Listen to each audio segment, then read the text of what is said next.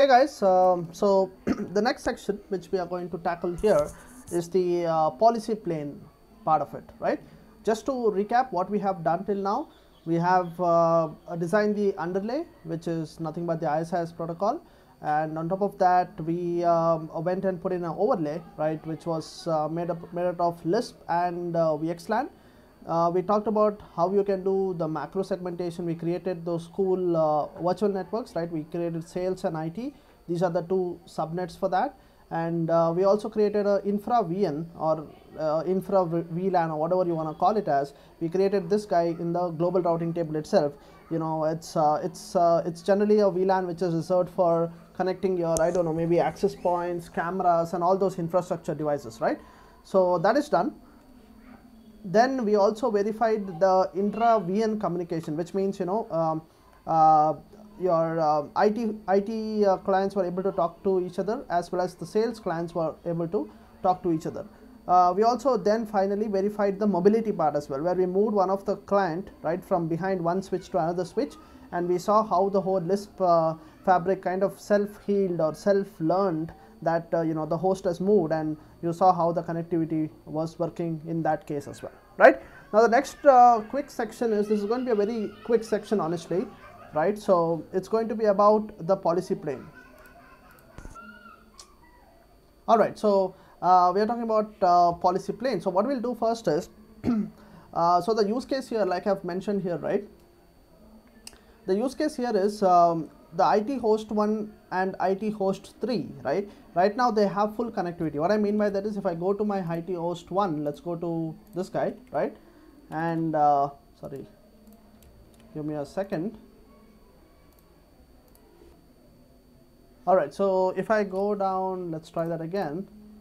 This is my IT host 1 okay I think it's back yeah.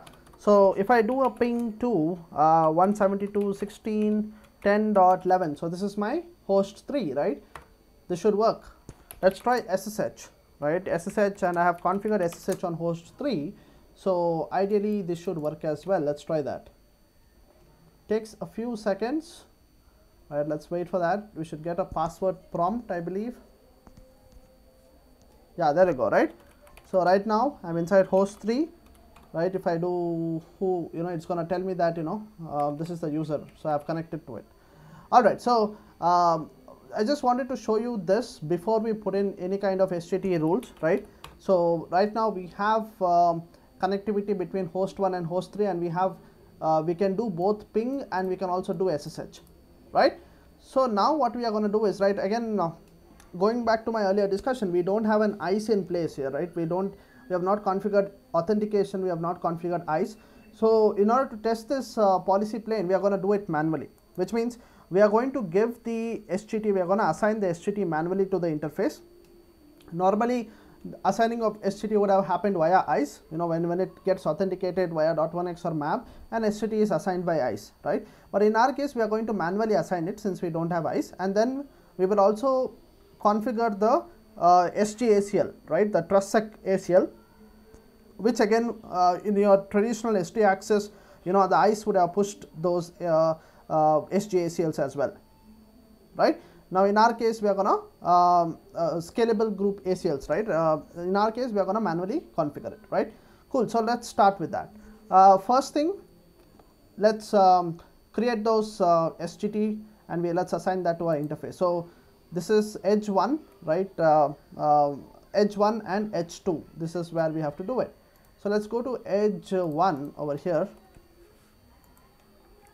Right? So let me grab that. Yeah. So let's go to edge 1 and we are anyway trying it only for uh, let me just disconnect and connect again. Sometimes my consoles get stuck. Yeah there we go. So what we are going to do is uh, we will um, go to show run. Or give me one second. All right so um, uh, you see this particular interface bdi 10 right now this is the interface on my edge 1 uh, where the traffic from all the IT uh, clients are going to be coming in, right. Uh, we have done this all, all of this in the previous videos, you can go back and check, right. What we have done is we have um, uh, we have uh, we have actually we tag the traffic here on the switch 1, we tag it with the VLAN 10 right and then it goes up the trunk link and once it comes to the edge we have created bridge domain interfaces so in BDI 10 we get the IT traffic, BDI 20 we get the sales traffic, BDI 30 we get the AP traffic, right. So now we are interested in the IT traffic, right. So we are going to get into that. So this is the interface. So what we'll do is let's go to that interface,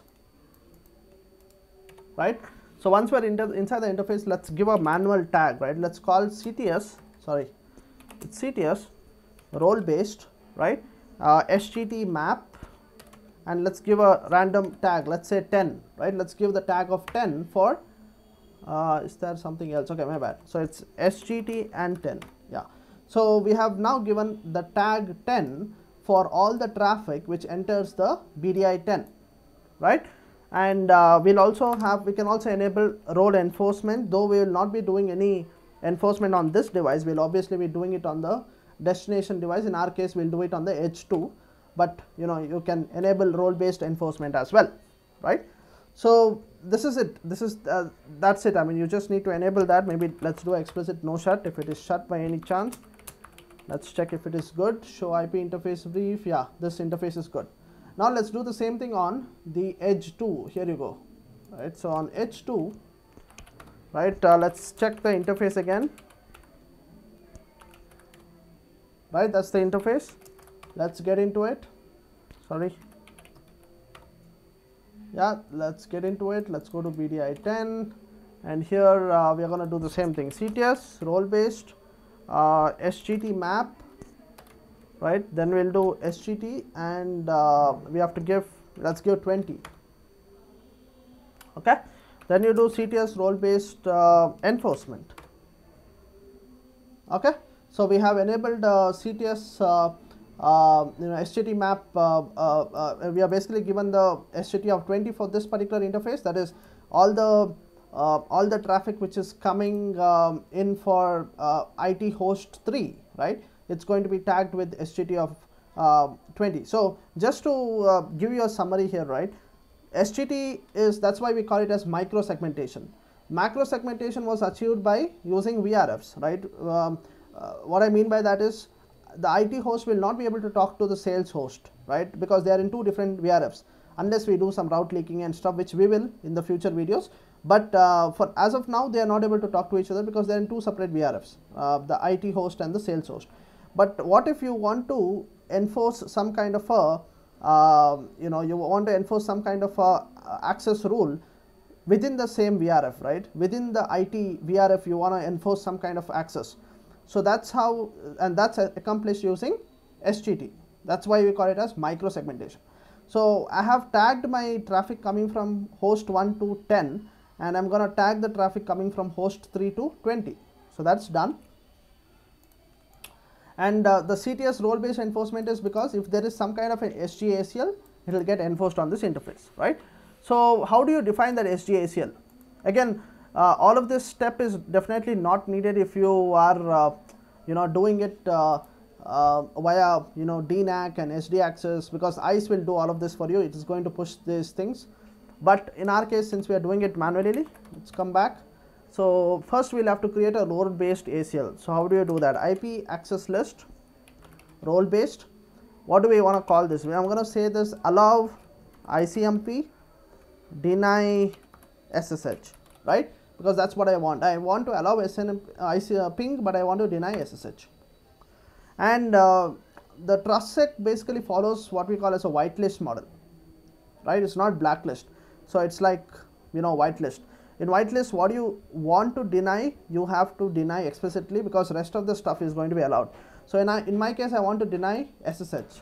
So let's put in a uh, access control entry over here, right? So deny what is a SSH port? Port is uh, 22. So sorry, deny TCP.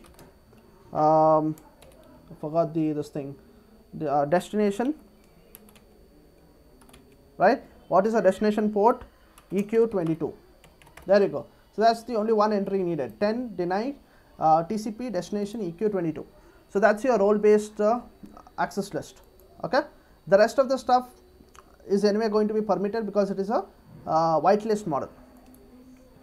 Now what we do is uh, let's go back and enforce this. So we created an role based access list but we have to enforce it. How do you do that? You say CTS or let me just clear the screen a little bit. Right, so this is what we have. So we'll say CTS role based uh, permissions, right? This is a global command and we have to give the SGTs, right? We have to say from so we want to control the traffic going, going from SGT 10 to 20. So we're going to say 10 is the source SGT tag. Uh, where is it going towards? It's to, um, to what? To um, of uh, 20, traffic going from 10 to 20. And this is where, you know, we have to, uh, sorry, this is where we have to mention that access list which we just now created, which was that, this one. So let's grab that, let's put it here awesome guys. That's it. We are done. Right? Just to recap what we did was we tagged the traffic um, you know coming from IT host 1 with 10 IT host 3 is uh, 20 and uh, we have defined uh, SGACL on um, you know on the edge 2 saying that you know from 10 to 20 just allow ping but don't allow SSH now let's verify. So let's go to the same host here right so let's try ping first. There you go, ping works. But now let's try the SSH. Earlier it was working, but now it should not, right? So let's wait for a few seconds. If it works, then it should actually give us this uh, password prompt like it gave before, right? So let's wait for that. It should time out and um, you know it should basically tell not allow us to do SSH uh, from the box. So there you go. It's it's already I think by now it should have see there you go. I, okay not yet. We got some kind of a log but that's fine. I think by now we ah, there you go right? It timed out completely. You can see now the I've got the prompt back so that's mainly what I wanted to show here right uh, before we uh, end this uh, policy section I want to quickly uh, show you um, capture as well to show where the SGT is carried, right. So, I have enabled uh, the capture over here um, on which interface on my gigabit 1 interface right on my edge 2. So, now when I do a ping uh, from you know say IT host 1 to IT host 3, I will show you where the SGT is carried.